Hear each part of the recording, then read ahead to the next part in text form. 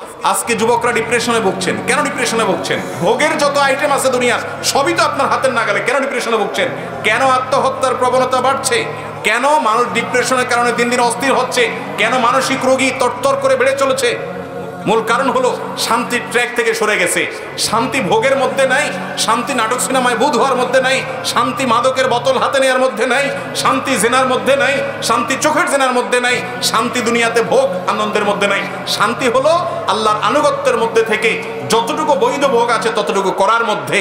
যে ব্যক্তি বিবাহের মাধ্যমে তার যৌন চাহিদাকে পূরণ করে এবং হালাল পথ ছাড়া হারাম পথে যায় না। আল্লাহ তালা তাকে শান্তি দেন যে অশান্তির পথে যায়, হারাম পথে যায়, অবৈধ পথে যায়। আল্লাহ তালা তাকে শান্তি দেয় না। এই জন্য একের পর এক দেখবেন চেঞ্জ করতে থাকে চেঞ্জ করতে থাকে তার লাইফ পার্টনার কিন্তু শান্তি কোথাও পায় না ডিপ্রেশনে ভুগতে থাকে। আল্লাহর কসম, এই দুনিয়াতে ভোগে আল্লাহ শান্তি রাখেন নাই, ত্যাগেই শান্তি রেখেছেন। আল্লাহর নির্দেশ মানার মধ্যে শান্তি রেখেছেন। আল্লাহ বেদিক্রিল্লাহি তাতমাইনুল কুলুব। যুবকরা শান্তি পাচ্ছেন না ডিপ্রেশনে ভুগছেন।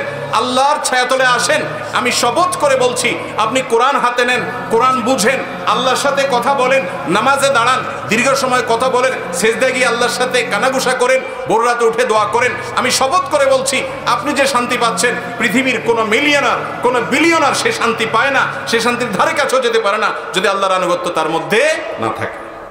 চেষ্টা করব না ইনশাআল্লাহ? আল্লাহ তালা আমাদেরকে আমলের তৌফিক দান করুন।